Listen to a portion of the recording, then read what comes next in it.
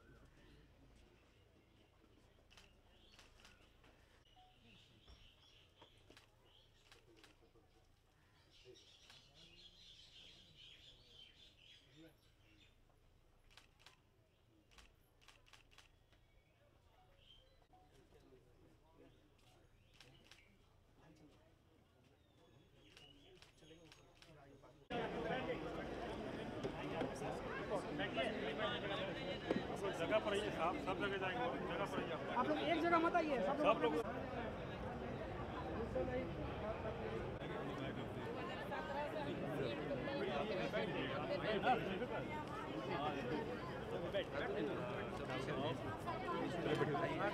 बैठिए बैठिए।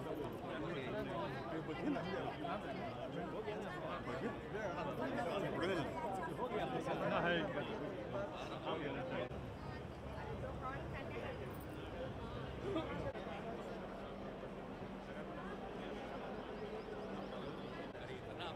बड़ा बन गया, उसका खराब दिख रहा है।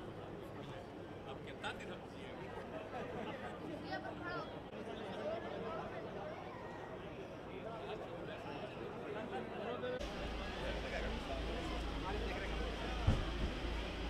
सामने सामने